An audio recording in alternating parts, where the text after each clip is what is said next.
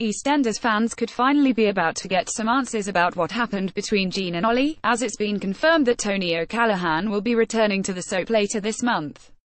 Ollie Walters O'Callaghan was last seen on screen in 2016, when as far as the viewers were aware, he and wife Jean Slater Gillian Wright were still living happily together in Brighton. Only, since Jean returned to the square alone earlier this year, SHES been refusing to answer any questions about what happened between them.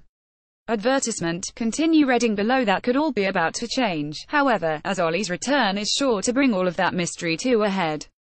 Tony O'Callaghan will be reprising his role as Ollie Walters when the character makes a brief return to the square later this month with Jean returning to Walford earlier this year, alone, and avoiding any questions about her marriage. Are we about to learn the truth? pic.twitter.com slash BBC EastEnders at BBC EastEnders June 10, 2018 The news was confirmed today June 10 by the EastEnders Twitter page, who hinted that Ollie's return, while brief, could bring viewers the answers they've been waiting for. Tony O'Callaghan will be reprising his role as Ollie Walters when the character makes a brief return to the square later this month. The announcement read, with Jean returning to Walford earlier this year, alone, and avoiding any questions about her marriage. Are we about to learn the truth? Sure hope so. Copyright BBC. Gillian Wright as Jean Slater with daughter Stacey and EastEnders. Jean Slater made her big return to the square back in March, bringing with her the bombshell announcement that Kat Slater Jessie Wallace wasn't actually dead like Big Mo had claimed.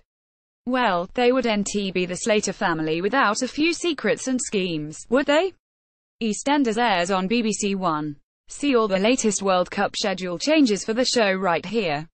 Read more news, spoilers and gossip on our EastEnders homepage want up-to-the-minute soaps news, spoilers and gossip on your social feeds just hit like on our Digital Spy Soaps Facebook page and follow on our at Soap Twitter account.